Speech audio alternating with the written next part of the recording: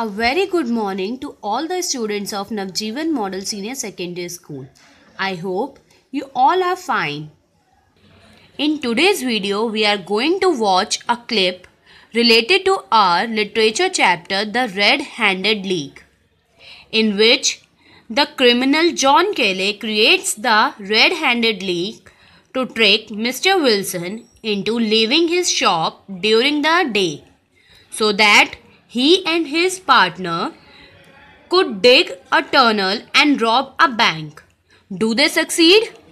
Let's see. I lived with my wife in another part of London. My friend Sherlock Holmes continued to live in his apartment in Baker Street. One day, in the autumn of 1890, I decided to visit my friend. But when I arrived at his apartment, I found he already had a visitor. I found he already had a visitor. This visitor was an old man. He was fat, with a red face. But the most unusual thing about him was his hair. The color of the old man's hair was bright red. I'm sorry, Holmes, I said. I didn't know you were busy. I'll wait in the next room. But Holmes didn't want me to leave. He pulled me into the room and closed the door. This is my friend, Dr. Watson, he said to the old man. Dr. Watson has helped me with many cases. Perhaps he can also help me with yours. I'm very interested in your cases, Holmes. This is Mr. Jabez Wilson, went on Holmes. The old man nodded to me. Mr. Wilson has come to me with a very unusual story. It's the most interesting problem I've heard for a long time. Mr. Wilson, could you please tell your story again from the beginning? I'd like Dr. Watson to hear it. Mr. Wilson pulled an old newspaper out of his pocket. He opened the paper on his knees and turned to the advertisement page. He ran his finger down the advertisements and pointed to one of them. Here, he said, this is how everything began. Read it for yourself, Dr. Watson. I took the newspaper from Mr. Wilson. It was the Morning Chronicle and was two months old. I read the advertisement. The Red-Headed League. Another vacancy is open for someone wishing to become a member of the League. Salary, four pounds a week. All red-headed men over 21 years old should come on Monday at 11 a.m. to this address. Duncan Ross, The Red-Headed League, 7 Pope's Court, Fleet Street, London. What a strange... Whatever can it mean? Laughed. It's very unusual, isn't it? He said. And now, Mr. Wilson, tell us your story. Well, began Mr. Wilson, I have a small shop in Saxe Coburg Square in the City of London.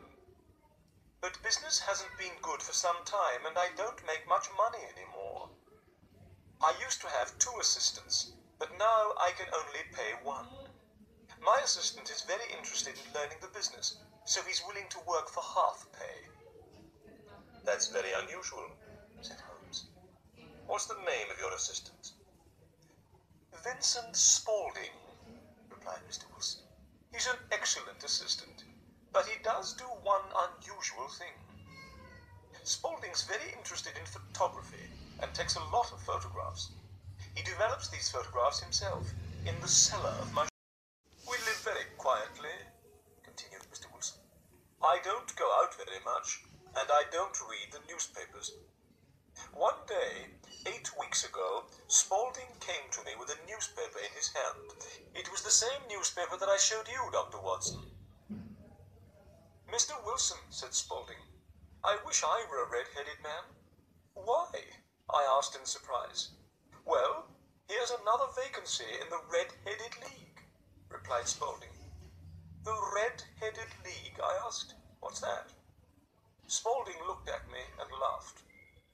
Haven't you ever heard of the Red-Headed League? he said. You could become a member and make a lot of money. Well, when I heard that, said Mr. Wilson, at once I became very interested. I needed more money, so I asked Spaulding to tell me more about this Red-Headed League. I think, said Spaulding, the League was started by an American called Ezekiah Hopkins.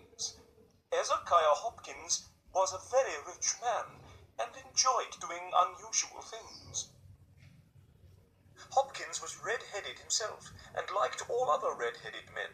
So when he died, he left his money in his will to help red-headed men. The money was used to start the Red-Headed League. When a man became a member, he would be paid an excellent salary for very little work. And now, said Spaulding, showing me the advertisement again, here's another vacancy in the league. Why don't you go to Pope's Court, Mr. Wilson? I'm sure you could become a member.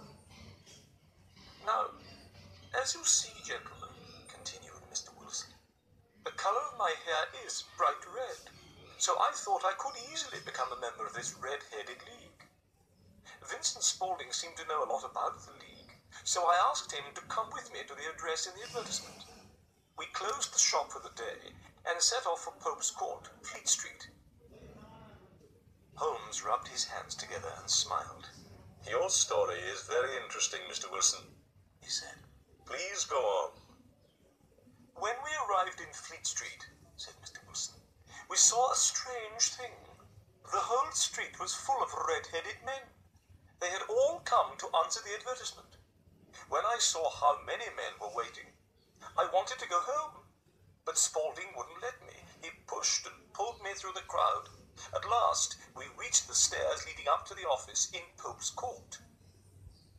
A small man was sitting behind a table. The color of this man's hair was a brighter red than my own. This is Mr. Jabez Wilson, said my assistant. He has come about the vacancy in the league. The small man looked carefully at my hair. He looked at it for such a long time that I began to feel uncomfortable.